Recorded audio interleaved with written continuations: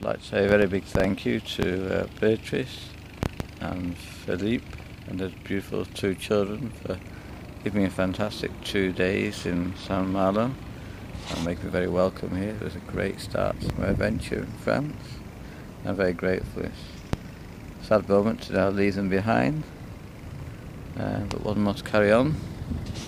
And we're going across the barrage on my trike.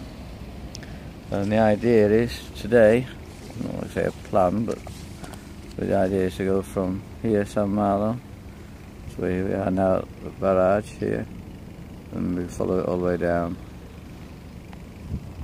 All the way down. Beautiful scenery, hopefully, down to there. Should be somewhere around here this evening, all being well. Sad moment here at the moment, unfortunately the Welsh team who didn't actually make the European champions to be there, but did very well. Congratulations to them. Nothing wrong with getting to semi-finals, but they actually staying here, and uh, be on the way back to Wales. I'm sure tomorrow. If may have gone now, I'm not too sure, but they did very well. Very proud of them. There's nothing to be ashamed of to lose to Portugal in the semi-finals, and we did a very good job. So here we are. So we better get the old trike on the move and uh, so,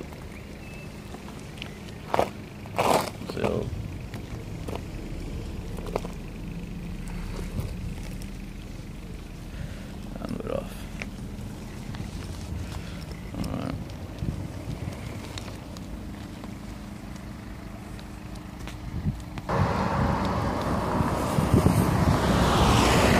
This is the hydro dam, so they're producing electricity from here.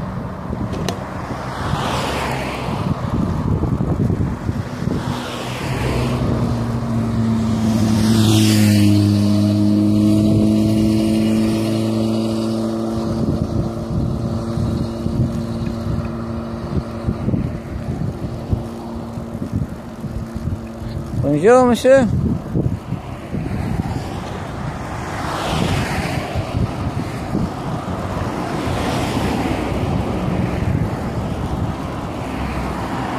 Going that way over there. Oh, shit.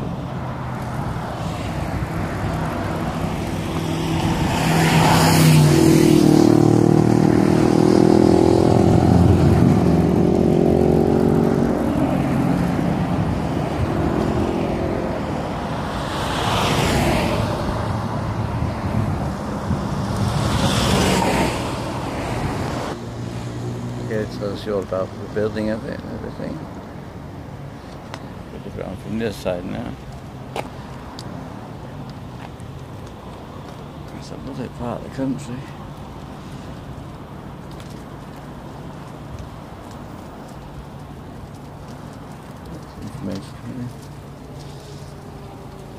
there's St Malo over there at a distance.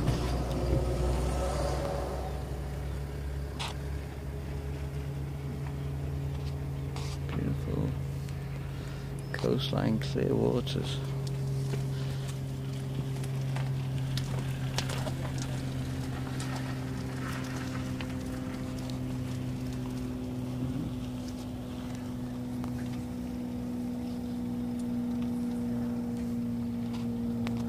Seeing so many power assistant bikes over here, it's, like uh, the old days of manual uh, bicycling going to be end soon. Maybe I have to get most of this one. Yeah, off you go.